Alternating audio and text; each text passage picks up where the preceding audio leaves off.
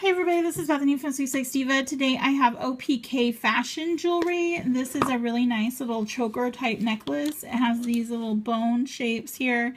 It says love on that middle one. I don't know if you can see it, it's pretty small.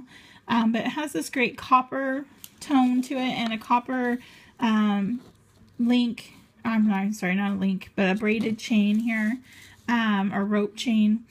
Just a classic clasp on the back. It's not a very long um, chain. It's only about six inches, but it does have an extender that takes it to almost nine inches.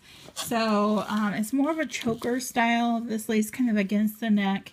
Um, so if you don't like those type, I, I, mean, I have some people who just hate having things close to their neck and some people like it. So, um, so be aware that it's kind of a shorter chain style. Um, but it's a very pretty necklace, and since it's copper, it goes with a lot of styles. Um, I love this graduated um, bone type design, and it's just really pretty. You can check out the full review and more information in the comments of this video.